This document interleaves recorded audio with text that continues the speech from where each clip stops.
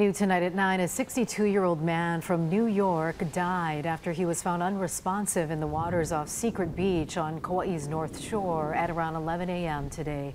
First responders performed CPR and used an AED, but were not able to revive him.